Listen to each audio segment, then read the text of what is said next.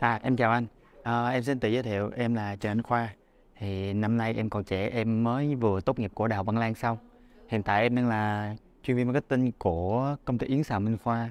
Ờ, cái việc em tìm tới khóa học với chủ đề là em được một người sếp của em giới thiệu và lúc trước khi em chia sẻ một tí về bản thân của mình thì lúc trước em cũng có lập một kênh TikTok thì em làm về em có startup về thời trang em làm thì cũng có lượt bán lượt mua nhưng mà em cảm giác trong kênh em nó thiếu một cái gì đó để người xem có thể là động lại hoặc là họ có thể khi mà buộc chán người ta tìm kiếm tới mình chứ không đơn giản chỉ là một kênh review quần áo và để vô bán hàng.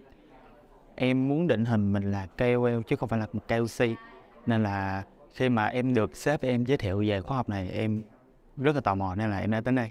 À, sau 3 ngày học thì em tâm đắc nhất là việc mà hình thành tính cách của một nhân vật trên màn hình. Theo em hiểu thì khi mà làm video ấy, cái nhân vật mà mình xuất hiện đúng là mình sẽ là một người diễn viên. Mình là diễn viên chính trong một cái kênh của mình. Nhưng mà mình diễn làm sao để cho mình có thể show off được bản thân của mình ra, tính cách tính cách của mình, chân thật như nào. Và người xem họ có thể hiểu được mình để họ tin tưởng và yêu thương mình hơn. Nếu mà được chia sẻ thì em sẽ giới thiệu với họ là ngắn gọn thôi nên đến với lớp của Sam Nguyễn.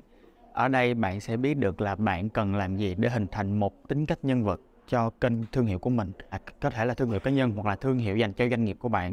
Bạn định hình được rõ được là việc mình muốn như thế nào. Mình muốn làm cái gì cho kênh và khách hàng có thể nhận được cái gì từ kênh của mình. Không đơn giản chỉ là việc người ta xem chỉ là giải trí hoặc là người ta xem chỉ mua hàng. Họ xem là họ xem sản phẩm và bản thân của người diễn.